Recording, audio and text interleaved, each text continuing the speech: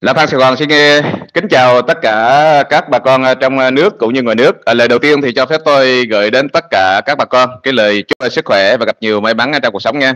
À, bà con vui lòng mà cho Lâm Phan Sài Gòn xin một like để có cái sự tương tác với quý vị. Vì um, có like nó mới là mới nổi cái cái clip lên được và mới được tiếp cận với tất cả các bà con à, mà chưa bao giờ xem cái kênh của Lâm Phan Sài Gòn.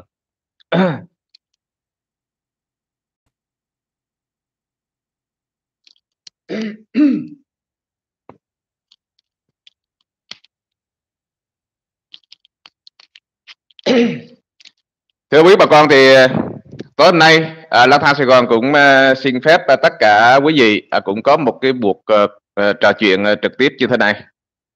Cũng để mong rằng có đóng góp cái tiếng nói của mình trong cái sự việc à, của ven như là trường pháp sư à, để cho nó làm rõ sớm để cho những bà con còn cái như là đam mê trong cái đạo ù ù của trường như như như như ven đó thì cũng có cái thời gian mà tỉnh ngộ. Dạ chào uh, trâm lê. Cho những ngày vừa qua thì xin thưa quý vị thì à, Lam Pha Sài Gòn cũng uh, dùng tiếng nói của mình cũng để muốn là có một cái sự lan tỏa. À, tuy nhiên là cũng gặp rất nhiều những uh, người mà cái như gọi là đang cái như là đam mê à, cái đạo của trường Juven và đam mê cái hành canh. Trên cũng à, điện thoại tới lang Thang Sài Gòn là bất kể giờ giấc. Thậm chí là cái như là đang ngủ ngon cũng điện thoại tới là hỏi ở chào sư cô. Mà cái vấn đề này là người ta chú ý. Người ta chú ý chứ không phải là người ta có sự vô tình. Thì à, thông qua đây thì tôi cũng mong rằng dạ chào chị Anh Lương dạ chào Văn Thạng Nguyên thì tôi cũng ờ, mong rằng là những vị nào đó mà nếu mà cố tình chăm chập lang thang Sài Gòn đó thì uh, nếu còn tiếp tục nữa uh, thì số điện thoại sẽ lên cái trang cộng đồng. Mà cần thiết nữa thì sẽ cho kể như là là là là đưa ra công an để mà nhờ xác minh làm rõ cái vấn đề luôn nha. Vì bây giờ tất cả số điện thoại là chính chủ cả rồi đúng không? Có quay rối thì cũng quay rối một cách có lịch sự một xíu. Trong cái lúc người ta đang nghỉ ngơi mà vấn đề là mình kể như là có đam mê trường giữa ven ấy, thì xem là còn trong nhà còn bao nhiêu tài sản mà đáng giá đấy ôm đi mà để cho cái như là ven. Dạ chào à, anh Nguyễn nha. Ôm đi để mà cúng cho trường giữa ven để có đủ sức khỏe để tiếp tục hành canh. Vì những ngày vừa qua chắc là mạnh thì quân cũng đã biết rất rõ cái sự việc rồi đúng không gì cho nên là cũng uh, ít gửi tiền lại cho nên là là trường giữa ven dạo này cũng ít hành canh lại đâu thì bà con nào đó thì coi như là nếu mà cảm thấy là vẫn còn yêu thương trường ven à, muốn trường ven có những cái thức phim gọi là hành canh mà cái hành tráng hơn đấy mạnh đạo hơn thì coi như tiếp tục gửi tiền. Còn cái vấn đề lan tỏa là lang thang sài gòn vẫn tiến hành tiếp tục cái công việc của mình. Đó là lan tỏa những tiếng nói của mình lên cho cộng đồng mạng. Còn bất kể dù cái như là có dao kề cổ thì tôi vẫn đi là tôi đi quý vị chứ tôi vấn đề là cái như tôi không sợ những cái cuộc gọi hăm dọa hay là những cái cuộc nhá máy đâu dạ vấn đề lang thang Gòn cũng nói thẳng luôn để cho những anh em nào đó mà có, có ý định mà hăm dọa đó thì cũng nên có cái cái cái suy nghĩ lại ha. Dạ chào ờ, uh, Hiểu Ngọc dạ chào Thanh Tùng dạ chào Lăng Lê dạ chào tất cả các bà con đang ờ, theo dõi buổi livestream tối nay nha. Uh, bà con vui lòng cho La Thang Sài Gòn xin một like ha để có cái sự lan tỏa. À, trước khi mà đi vào câu chuyện của trường pháp sư và cô ven hành canh thì xin thưa quý vị thì cái này tôi cũng đã có rất nhiều cái buổi trò chuyện cũng đã nói rất rõ rồi. À, trường pháp sư đó. Thì chung là vẫn là một pháp sư là cũng đáng được để nhưng mà phải ghi nhận. Đó. ven hành canh là cái như là cũng thời gian khá lâu đi đến rất nhiều nơi. À, từ cái như chùa chiền những ngôi chùa nổi tiếng đến những là bậc cao tăng mà không giải được không giải được chỉ cần là cái như là qua trường pháp sư thì trường pháp sư cái như là sẵn sàng cái như chỉ cần là đẩy một đêm ba nháy là kênh không dám nhập. Đấy. Kênh không dám nhập nữa. Mà vấn đề quý vị bây giờ có nhập á, thì mới hành. Đúng không mà bây giờ không dám nhập nữa thì đảm bảo là không có thể hành được. Trên cái điều đó cũng là cái sự may mắn cho chúng sanh. Đấy, may mắn cho bà con may mắn cho những vị phật tử cả tin. Đấy chứ tôi nói mà trường mà cả như trường pháp sư mà không trị sớm cái bệnh hành canh của ven đấy thì tôi nghĩ vẫn còn nhiều mạnh hơn quân sập lỗ nữa. Thế cũng may cái là trường lén lén lúc lúc vậy là cái như là trị vậy là cái như là sen là là ven hết bệnh đấy, hết hết thành canh đấy nhưng bây giờ là một vấn đề khác. Đấy, bây giờ là một vấn đề khác. Bây giờ thì cái như cũng qua cái buổi tối hôm nay à, mình cũng uh, xin phép tất cả các bà con thì cũng uh, có những cái đoạn à, để mình lan tỏa trong đó là cái như là phải làm rõ cái sự việc là người đứng đằng sau đó có những cái quyền lợi nhất định gì hay không? Và trường là có những cái quyền lợi gì? Vợ của trường vì sao không lên tiếng trong cái sự việc này? Trong khi đó à, trường hiện bây giờ đó quý vị vẫn đang ở với vợ với con. Đó. nhưng mà vẫn cặp kè theo ven và tôi cũng đã có những cái à, bà con cũng đã có những cái chia sẻ. Đó là cái như là trường vẫn âm thầm gọi để mạnh thường quân ủng hộ cho ven đó. Thì vấn đề này thì mình nói cái sách mắt cái chứng thì trong buổi tối hôm nay thì Long Thang Sài Gòn cũng cố gắng chia sẻ để tất cả các bà con chúng ta cũng có một cái sự nhìn nhận cho nó rõ sự việc à, này quý vị nha. Dạ thì trong quá trình livestream đó, quá trình à, trò chuyện thế này thì Lang Thang Sài Gòn đang đi vào một cảm xúc để mà nói chuyện với tất cả các bà con cho nên không thể à, mà dừng lại chào tất cả các bà con được. Thì mong rằng tất cả bà con theo dõi thì cũng hết sức là thông cảm cho Lang Thang Sài Gòn. Dạ trước khi đi vào câu chuyện bà con à, vui lòng cho Lang Thang Sài xin một like ha. Thì đây là cái vấn đề là cũng uh, nghe lại những cái đoạn mà để khẳng định vấn đề là trường đang sống chung với vợ với con. Nha quý vị. Rồi tiếp tục chúng ta sẽ đi vào những cái chuỗi phân tích tiếp theo.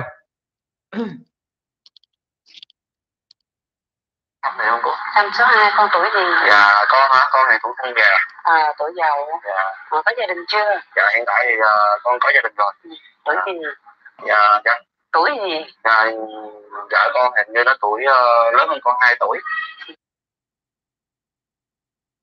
Đó quý vị nha trường là đang có vợ có con và đang sống chung với vợ và con cái điều này là cái như là sự thật như cô ơi cô có thể giải giùm con cái sách này không cô? Em số 2 con tuổi gì dạ con hả? Con này cũng không già. À tuổi giàu dạ. À, có gia đình chưa? Dạ hiện tại thì uh, con có gia đình rồi. Ừ, tuổi gì dạ, dạ. Đó nhưng vì sao mà có gia đình rồi có vợ có con rồi mà những ngày vừa qua là cặp kè dưới ven mà vợ vẫn không dám lên tiếng? Đó thì cái vấn đề này chúng ta thì uh, tôi cũng đã nói uh, ở clip trước đó, thì xem chương trình của Lang Thang Sài Gòn thì cũng có rất nhiều bà con à, cũng như là là cũng là giới nữ, đúng không ạ? Thì cả như là tôi đảm bảo rằng bất kỳ người phụ nữ nào cũng vậy. Khi mà nghe chồng con mình mà, khi nghe chồng mình mà đi bên cạnh người khác thôi, thì cảm thấy là cũng là cái như cũng bức bức rứt đúng không quý vị cảm thấy khó chịu.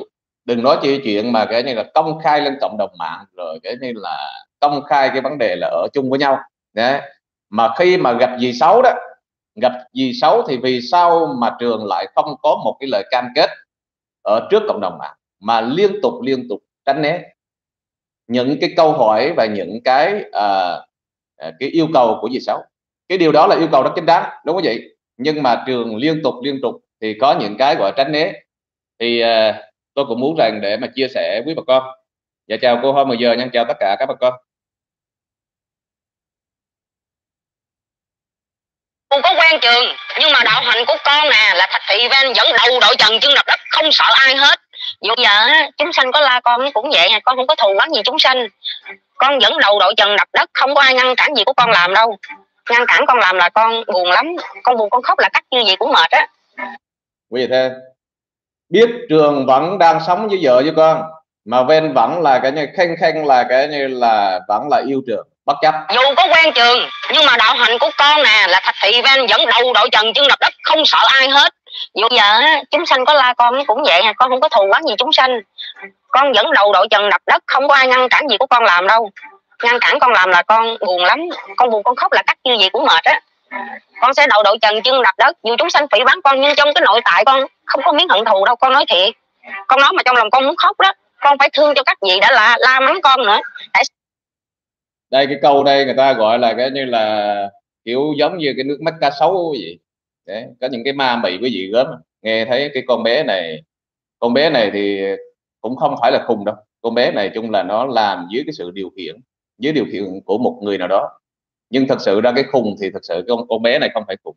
Con bé là rất tỉnh, nó rất tỉnh.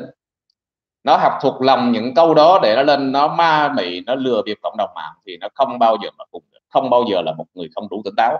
Mà con bé này rất tỉnh táo, nhưng cũng vì cái lòng tham vô đấy. Đấy. Lúc đầu là vì cuộc sống mưu sinh đơn thuần, nhưng sau đó là được rất nhiều người quan tâm chú ý và cho một cơ số tiền rất lớn. Đấy. Thì mai chắc là bây giờ bất chấp. Mà bất chấp này đó, thì cũng phải có những người đứng đằng sau, cũng phải có những người tiếp tay. Thì con bé này nó mới là mới dám mà có những cái cuộc mà cả như kéo dài cho đến thời điểm bây giờ chứ còn tôi đảm bảo bây giờ với cái khả năng và cái trình độ của ven một mình nó không thể mà làm được. Và tôi cũng có xem cái đoạn của phi thiên ân nói rằng đó, trong quá trình quay, trong quá trình quay phim thì tất cả tất cả các anh em cũng đã đều biết là trường đang sống chung với ven trường đang sống chung với ven nhưng vì sao mà cái như là những anh em này đã biết rồi đó, mà cái như là không chịu tố giác, không chịu có những cái phim mà để mà khơi ra cái sự thật để cảnh tỉnh tất cả các mạnh thường. Thì cái này nó sinh ra rất nhiều vấn đề của gì thứ nhất ấy, thì anh em đang bu theo trên này view quá nhiều. Quyền lợi của nó là những đồng view. Và bên cạnh đó thì có rất nhiều mạnh thường quân mà cũng là cái như là quan tâm cái sự việc của ven. Cho nên là cũng đang tập trung vào cái như là để mà cái như là ủng hộ tiền. Đấy. Mà theo ngăn à, theo cái như là ven là cái đồng ngăn đó quý vị. Theo ven là đồng ngăn đấy.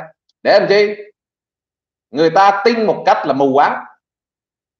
Trong khi đó là cái tất cả những kênh đã biết là ven dưới trường đang có những cái mối quan hệ tình cảm.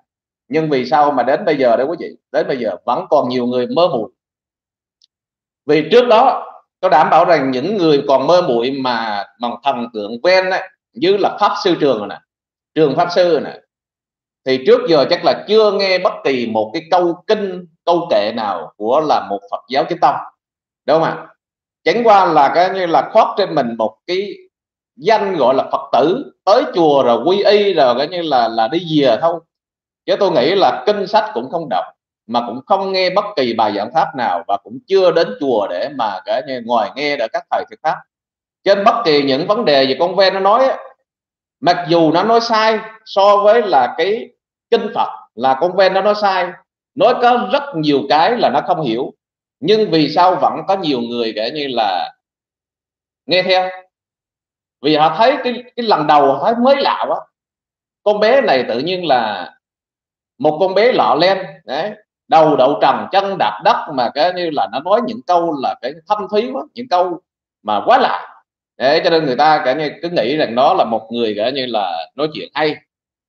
Cho nên nó nó mới là cả như là được cái như cái đám youtube nó nó bia lên xíu à, để mình nâng một cái tầm lên là cái tầm quan trọng có vấn đề. À. chứ thật sự những câu này không phải là những câu của là kinh Phật chân chính mà những câu này nó cũng học từ trong kinh Phật nhưng nó không có cái thuộc lòng. Trong quá trình nó đọc còn dấp trong quá trình nó diễn cái như là vẫn còn có những cái gọi là cái sai sai về cái câu từ. Đó. Nhưng nếu chúng ta là những người đã từng tiếp cận thì chúng ta phát hiện ở đây là một cái sự ma mị nhưng có một số bà con họ chưa bao giờ tiếp cận với là kinh Phật, chưa bao giờ nghe một bài pháp. Đấy, thì cỡ như họ nghĩ con bé này là nó thuyết pháp, có người dựa vô nó. Nhưng mà ai dựa quý vị? Không có ai dựa con này hết. Ngoài có cái con ma dâm dục nó có dựa cho con bé này không? Chứ tôi thực sự là không có ai mà dựa con bé này. tôi từng nói rồi, cái vấn đề, cái sự thật nó mất lòng cái lời thật nó luôn luôn mất lòng quý bà con. Nhưng mà tôi đã chấp nhận tôi đã đứng lên cộng đồng mạng tôi nói thì tôi đã đã đã, đã không không có sợ bất lòng ở đâu. Cho những ngày vừa qua tôi mới chia sẻ đấy những ngày vừa qua cũng có rất nhiều cũng là đệ tử của pháp sư trường đấy. cũng điện thoại tới cũng là quấy rối rồi cũng có những câu từ mang chắc nó cũng hay cái như là người ta gọi một câu gọi là cái như là a du cổ xí đã không biết mà người ta đã lên cảnh tỉnh mà vẫn còn cái như nhắm mắt làm liều. Đó là những người đó gọi là cái như là là nhắm mắt đi đêm đó quý vị đi đụng bờ té ngửa tới đâu hay đó vì người ta cũng lỡ người ta cái ngày không lao rồi. Và đến thời điểm bây giờ con con ven này với trường pháp sư đó cũng không lao coi như là mang chắc bây giờ bất chấp rồi cái gì, đấy, bất chấp có những cái nó ma mị. Đấy, nhưng vì sao đó? Vì sao là những anh em mà biết mà không tố giác? Vì cũng liên quan đến quyền lợi rất nhiều. Và thứ hai cũng là liên quan uy tín. Quyền lợi ở đây là đồng tiền của mạnh thường quân những cái lượt view quá cao. Và uy tín ở đây đó cũng đã ngửa tay nhận tiền của mạnh thường quân rồi. Đúng không ạ? Mà bây giờ đứng lên tố giác thì không đủ can đảm. Không đủ can đảm để tố giác một cái sự thật đó là một trong những người mà cả nhà mượn đạo tạo đời để hành kinh để giá thần giá thánh để mà cái lừa bịp chúng sanh lừa bịp bà con phật tử. Yeah. cho ta không đủ cái cái, cái cái cái cái can đảm để mà đứng lên để mà mà mà tố giác đâu quý vị và cái sự việc á, chung là phi thân ăn đứng lên tố giác cũng liên quan cái vấn đề là cũng cảm thấy là bức xúc. Bức xúc cái sự việc này đứng lên tố giác. Nhằm để mà cái cảnh tỉnh một số bà con thứ hai nữa cũng để lấy công cái như là chuột lỗi. Lấy công chuột lỗi với cái niềm tin của khán giả với niềm tin của mạnh thường quân. Thì vấn đề này thì chúng ta cũng phải ghi nhận ở phi thân ăn một cái vấn đề là cũng biết cái điểm sai ở đâu cũng biết dừng lại. Và cũng mạnh mẽ đứng ra tố giác. Cái điều này là chúng ta phải nên ghi nhận chúng ta phải lên nên ghi nhận vấn đề này ở từ phi thân ăn là cũng mạnh mẽ. À, bây giờ mình biết là thành trường cái con ven nó đang lừa bịp cộng đồng. Nó đang cái như là mượn đạo tạo đời để lừa lừa bịp cá cái như là những phật tử. Nó đem đạo phật ra để mà nó trục lợi. Nó đem đạo phật ra để mà cái như là nó xúc phạm. Đấy nó có những cái miệt thị. Đấy, những cái như là là là cái cái thần phật nhưng phi thân ăn đứng lên tố giác. Điều đó cũng ghi nhận vấn đề là phi thân ăn cũng đã gọi là cái như là chuột lõi bằng những cái thức phim thật chuột lõi bằng những cái mà cái đoạn vi âm giữa là ven với trường mà chia sẻ với phi đường ăn và cũng đã thừa nhận rất nhiều cái vấn đề trong đó là có à, cái sự việc là hai người cũng có cái quan hệ tình cảm và cũng có hành canh là một đêm là ba nháy. Chung là nó khai rất rõ luôn quý vị. Đó. Cái vấn đề đó thì cũng ghi nhận nha. Riêng phi đường ăn là vẫn ghi nhận vẫn là hoan nghênh cái tinh thần là cái như là tố giác những cái mặt trái tố giác những cái kẻ mà gọi là lạm dụng tình thương của người khác lạm dụng vào Phật giáo để mà lừa bịp. Đấy. làm dụng tôn giáo là nói chung quý vị nhưng Phật giáo đây là nó riêng nó riêng về Phật giáo là hai đứa này đang làm dụng Phật giáo. Đó cho những ngày vừa qua từ lúc mà khi thiên ăn á, là lên tố giác á, thì xem như là ven là hết hành canh nữa hết hành canh nổi luôn. Bây giờ mạch mũi lên hành canh quý vị. Cho những ngày vừa qua mà phiên ăn chưa tố giác trở lên hành canh liên tục mà có những cái mà cái như là đáp lại cái sự là không hành canh đó, là ven mai chắc là cái ngáo. Ngáo. Nó ngáo là rất nhiều cái vấn đề nó ngáo cái gì nó ngáo ở đây là từ lúc nó vô cái chùa ăn nó cũng đã ngáo rồi. Nó nhảy như một con khí độ Đấy. nhảy nhót, linh ta, linh tinh, phát ngôn, mang chất là cái như cũng là sàm xí. Đấy.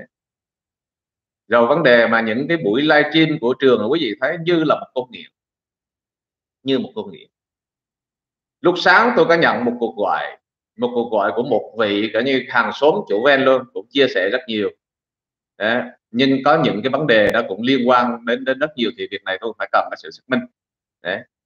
chứ còn vấn đề là cái như là riêng ven ấy, là tôi đã khẳng định với quý bà con rồi cái đây là một trong những cái hiện tượng là mượn đạo tạo đời buôn thần bán thánh để đánh lừa vào cái sự mà cái như là mê muội của một số phật tử đó, của đạo đạo đạo phật để mà trục lợi. Chứ thực sự ven không thể mà thành cách vì tôi cũng đã có rất nhiều cái clip tôi chia sẻ với bà con rồi.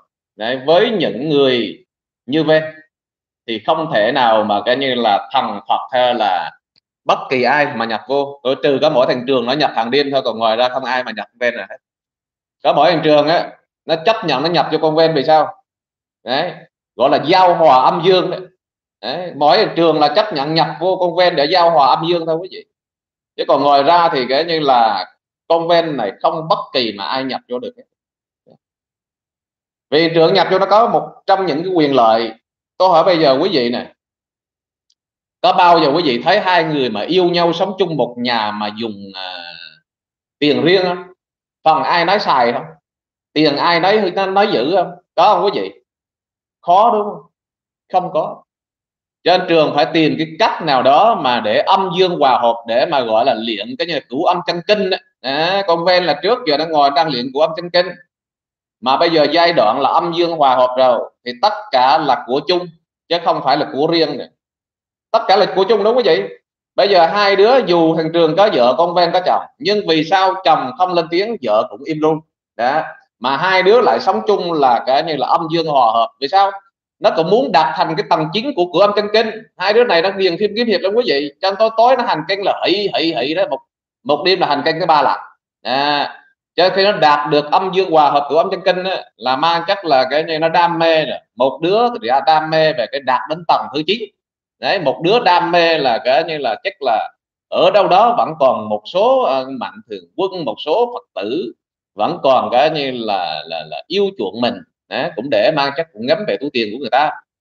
Chứ thật sự tôi đảm bảo quý vị bây giờ có đem ra cái như thế nào là tôi đảm bảo quý vị giờ con ven nó không không có canh có kiếp gì nhập rồi. Có mỗi thành trường đó chứ còn ngoài ra thật sự ra trường trường pháp sư. Đấy.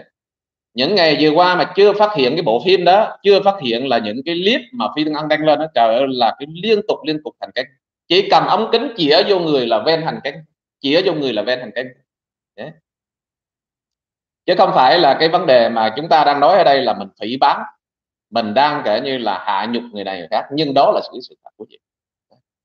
Người ta dám đem tôn giáo ra, dám đem cái đạo của mình đang kể như là là tôn sùng để người ta đem ra để mà trà đạp.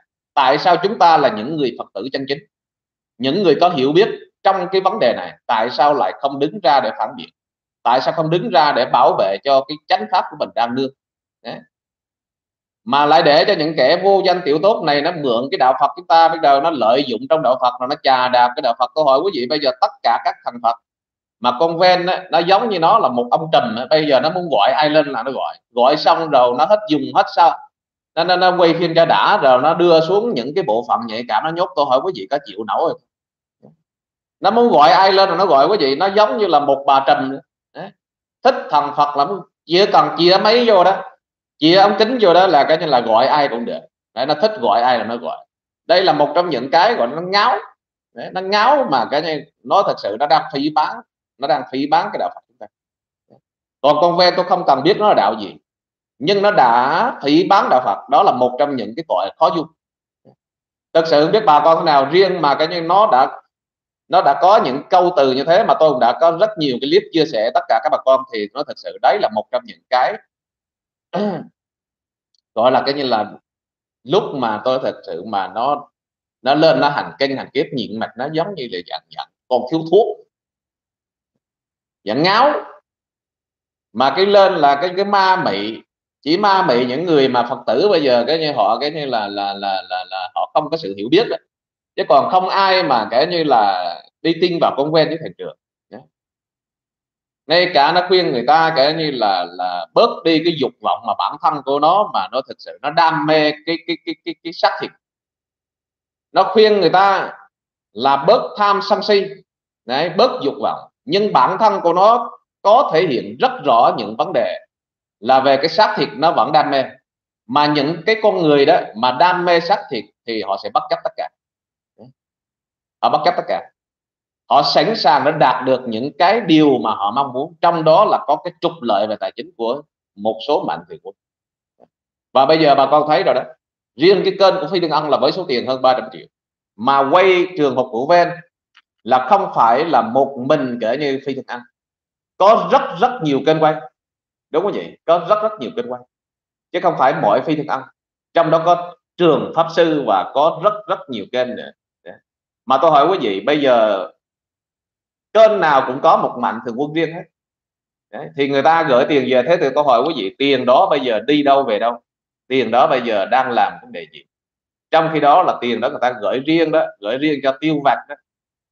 Còn cái chuyện mà làm nhà làm cửa là chuyện tính sau chuyện đó là cái như là chuyện sau này. Đúng không ạ? Thì vấn đề tôi hỏi quý bà con một cái là nó đơn thuần. Cái sự việc trường Juven là yêu nhau là cũng thời gian cũng khá dài nhưng tại sao đến thời điểm bây giờ mới là cái cách đây khoảng hơn hơn một tuần mới được thanh phui ra? Đấy. vì vấn đề tôi hỏi quý vị đó nó có một cái đơn thuần này mình nói trên một cái khách quan thôi. Còn nếu mà trường pháp sư với là con ven này trúng á, thì lo mà bỏ đi à, lo mà buông đi. Lúc đầu đó cái quan điểm cái quan điểm của tôi nhìn nhận cái sự việc này. Trường hiện bây giờ đó là vẫn đang sống với vợ con. Trường đang có một đứa con vợ lớn trường 2 tuổi. Đấy, và cái này là cái sự thật. Chứ không phải là tự tôi dựng chuyện lên để tôi nói vì chính miệng trường cũng thố ra cái như vấn đề đó. Nhưng vì sao?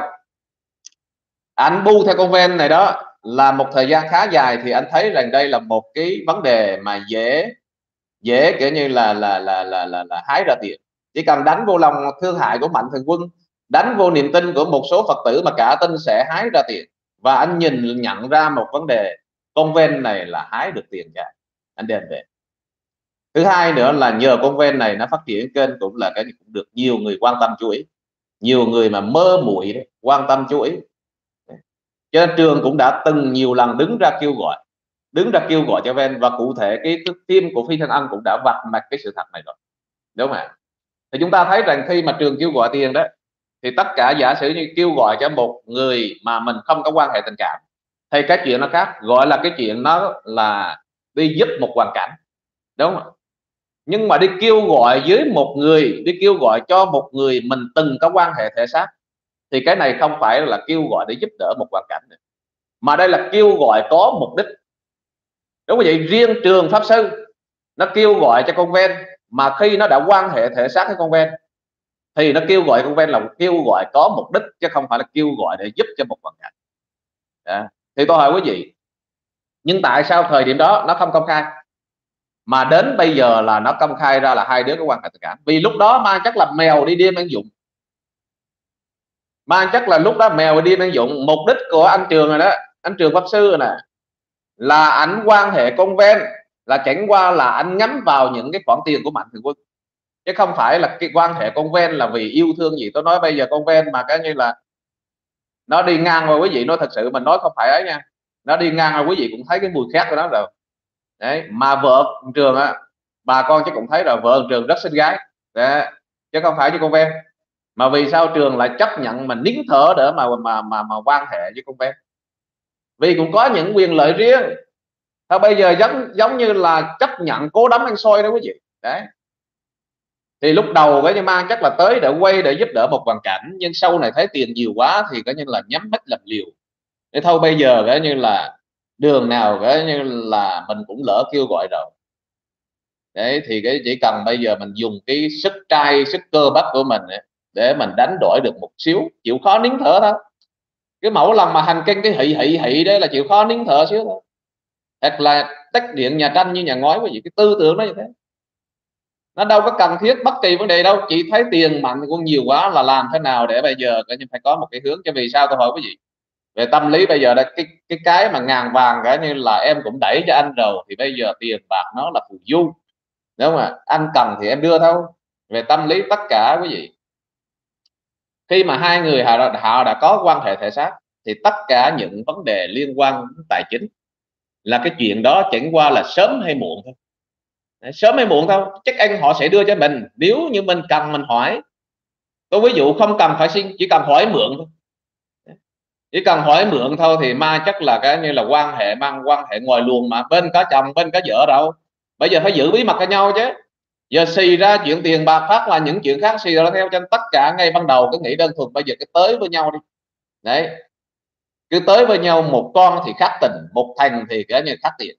Đấy. Và ngoài hai vấn đề đó ra, vẫn là hợp tác để mà đưa những thứ tin cho tất cả các bà con còn ma mị để mà theo dõi thì vấn đề khi mà mạnh thường quân gửi tiền đó rồi bắt đầu là cái như là có cái này cái kia rồi chẳng lẽ giờ tiền bạc là không có? Cái như là là, là, là, là, là để mà chia sẻ với nhau. Trên bất chấp bất chấp lúc đầu là anh nghĩ bây giờ cái như là lợi dụng tình cảm đã kiếm được một xíu thôi. Nhưng không ngờ là cái sự việc là sư cô là ghi âm lén. Đấy là anh mới sợ lộ là anh mới đứng lên thừa nhận.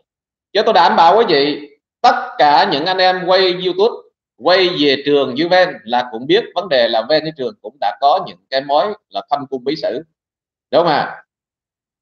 Chứ không phải không biết nhưng mà vì sao cũng vì liên quan quyền lợi liên quan uy tín không có anh em nào dám đứng ra tố giác đâu. Đó, cho nên á, khi mà anh em đứng ra đứng ra tố giác một cái vấn đề đó đứng ra tố giác một đề đồng nghĩa rằng cái như là cũng sợ chứ cũng sợ trường chứ cũng sợ cái dư luận cũng sợ cái như là mạnh thường quân nên không đứng ra đứng ra tố giác, mà phi thân ân tôi vẫn ghi nhận một vấn đề. Phi thân ân đứng ra tố giác cái sự việc của ven với trường. Là đó cũng xem như là lấy công cả nhà chuộc tội. Vì phi ân cũng có những cái gọi là kể như là không không tìm hiểu kỹ về nhân vật này và cũng đã nhận tiền mạnh quân và số tiền rất lớn, hơn 300 triệu. Mà khi đứng ra tố giác thì phiên an vẫn còn giữ lại được một ít của tiền mạnh thường quân. Yeah thì đây xem như một cái là cái như bài lấy công trục tội đi. Thì cái vấn đề đó thì cái như là sẽ có một cái phán phán xét sau. Chứ còn riêng với trường đó, từ lúc mà cái đoạn ghi âm của sư cô đưa lên, thì trường mới ló ra, mới ló ra là thừa nhận. Và có những cái phim mà dẫn ven đi về nhà để mà thắp nhang trước bàn thờ của mẹ ven đấy quý vị quý vị thấy? Mà lúc đó tôi hỏi quý vị, bây giờ đó lúc đó là cái như tất cả các bà con là vẫn cứ nghĩ là trường chưa có vợ, chưa có gia đình. Chưa có gì cả. Vẫn là một thanh niên, vẫn là một trai tơ xấu muối đúng không ạ ngay cả tôi tôi cũng vẫn vẫn làm đó. Nhưng bây giờ đã lộ rất rõ rồi. Trường vẫn đang sống chung với vợ, vẫn có một đứa con. Nhưng vì sao vợ không lên tiếng? Mà vì sao kể như là trường vẫn là âm thầm để kêu gọi giúp đỡ cho ven trong khi đó là ven với trường cũng đã từng quan hệ xác thịt để tôi hỏi quý vị có cái lý do. Đấy. mà chồng của ven không lên tiếng nữa là vì sao? Có rất nhiều câu hỏi đúng quý vị. Thì vấn đề này tôi tôi cũng đã từng nói rồi. Khi mà có rất nhiều bà con hỏi rằng, vì sao đến với ven thì trường giải thích một câu là tùy duyên. Rồi đến khi nào chia tay, khi nào cưới cũng là tùy duyên, cũng giống con ven quý vị. Cho nên là người ta đi với Phật mà cao cả xa đi với ma mà áo giấy nó đi với con ven biết rồi. Bây giờ là âm dương hòa hợp rồi. Cái tầng mà tầng thứ 9 của cửu âm chân kinh cũng đã đạt được rồi. À, cho nên bây giờ cái chờ ngày thôi. Chờ ngày là cái như là là là là là, là, là, là, là tùy duyên thôi. Chứ bây giờ giờ nó lộ rồi giờ trả lời sao? Nhờ giải thích rồi sao? Không có cái tình yêu nào mà tình yêu xét đánh cả. Đấy, không có cái nào mà cái như là là là có một cái điểm nhìn mà cái như là nó cái như là là là là đồng cảm ngay từ ánh mắt đầu tiên. Phải có cái sự va chạm phải có cái sự trao đổi phải có cái sự tiếp xúc. Đấy. rồi nó mới nảy sinh tình cảm. Nhưng cái quý vị cứ nghĩ đi lúc con ven bán vé số đó lúc con ven còn bán vé số tôi hỏi bây giờ nếu cái duyên đó thì cái tại sao lúc đó trường coi như là không ra mà tìm con ven để mà cái như là là là, là mà bây giờ nó được cộng đồng mạng chú ý, được mạnh thường quân quan tâm, cũng được một số người cái gửi tiền, vừa là cái duyên nó trội lên. Đấy. mà bây giờ hỏi là cái duyên nó khi nào kết thúc? Không trả lời được, cũng là tùy duyên. Đấy. Mà vì xấu hỏi là khi nào để mà hai đứa để mà tổ chức để làm cái giấy hôn thú? Thì cũng không trả lời. Vì sao không trả lời? Tôi đảm bảo quý vị bây giờ thành trường pháp sư nó có dám hay không? Nó có dám công bố cộng đồng mạng là tháng này, tháng nọ, tháng kia là làm cái giấy hôn thú hay không? Đảm bảo cái gì? Muôn đời nó không gian cái kênh của nó tồn tại không là liên quan đến thời điểm bây giờ. Chỉ cần nó hứa khẳng định là nó sẽ đi cưới con ven hoặc như thế nào đó, tôi đảm bảo quý vị, cộng đồng mạng sẽ theo dõi. Sẽ theo dõi xem có một đám cưới trong mơ xảy ra hay không. Đấy. Và cái vấn đề cho nên vì sao cái câu mà tùy duyên tùy duyên nó dùng tôi nói, cái câu tùy duyên là câu ma mị nhất. Người ta không biết, người ta hỏi, mà mình lại đi trả lời tùy duyên thế thì cần gì phải hỏi? Đúng không vậy? Mình không biết thì mình hỏi. Thà không nói là bây giờ cái chuyện đó tôi không biết tôi trả lời sao vì tôi đang anh nằm dưới với ven là do cái sự mà uh, tôi đang cái như là khao khát về tiền tài. Còn ven thì đang thấy tôi cơ bắp nhiều quá thì cái như là cũng đam mê về cái như là vấn đề do tôi cái như mỗi lần lên kênh là tôi giặt xuống. Đấy cái mỗi lần ven mà cái như là lên kênh là trường cứ dập thí mồ nậu tôi đảm bảo quý vị chữa pháp môn cho nên trường rất giỏi tôi phong biệt danh là trường pháp sư. Đó. Đi rất nhiều thầy rồi quý vị. Trời ơi đi lên những ông thầy mà cái như gọi là cũng cao tay ấn. Những ông thầy gọi là ông tu mà cái như nay cũng mấy chục năm cái như là là là, là tu tu tu học rồi đấy. Rồi đi tới núi này núi kia thậm chí lên tới núi con cát luôn. Đấy. Mà lại trị không được không ông nào dễ canh được hết bắt đầu dìa là cái như là từ lúc mà trường phát hiện ra cái canh này là cái như là phải là âm dương hòa hợp để để luyện lên cái cửu âm chân kinh. Nhờ cửu âm chân kinh đặt bằng thứ chín rồi đó thì canh mới chịu buông. Nó sợ quá. Cái canh đấy sợ quá vậy. Cái mẫu lần mà cái cần lên là cái anh trường anh cái dập xuống mà dễ chi cái cái nào dám lên. Nó không dám nhập vô làm gì cái chuyện mà hành. Có nhập vô mới hành quý vị còn không nhập không có, có kênh nào mà hành nữa. Đấy mà lúc mà không có kênh âm hành thì kênh cọt nó hành đấy quý vị thấy không? nhiều cái tôi nói đường này con dân con con, con ven này cũng chết. Nếu mà kênh âm không vô nhập á, để hành á, thì kênh cọt nó hành đường nào cái như tránh mà cái như là là là là, là một điên mà tới ba nháy bà con nghĩ đi. Cho nên cái con ven á, nó khuyên người ta một đường là cái như là không tham si à, không tham sân si dục vọng. Nhưng tôi đảm bảo quý vị trong những cái nó nói ra đó cái nào nó cũng cũng vướng vào. Tham nó cũng có. Nó không tham thì sao mà nó nó nó nó để cho những cái kênh youtube này cả như là là quyên góp tiền cho nó? Nó không tham sao? Tại sao nó nghe lời của bất kỳ ai mà nó nó nhận nó lập cái số tài khoản? Đúng không vậy phải có cái lòng tham.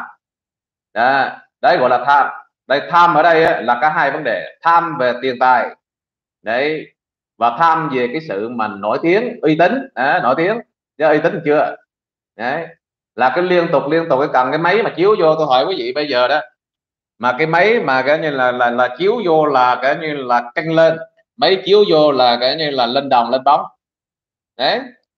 Chỉ cần là là anh em mà đưa cái máy vô là bắt đầu là cái như là ba mà hai tướng tốt 80 vẻ đẹp để đi đứng nằm ngồi để tất cả các kiểu là một câu thuộc lòng.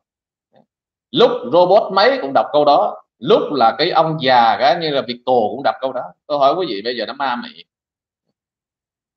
Đáng lấy mỗi người có dành riêng một câu tôi nói đạo diễn này, nó kém lắm quý vị. Đạo diễn này nó quá tệ.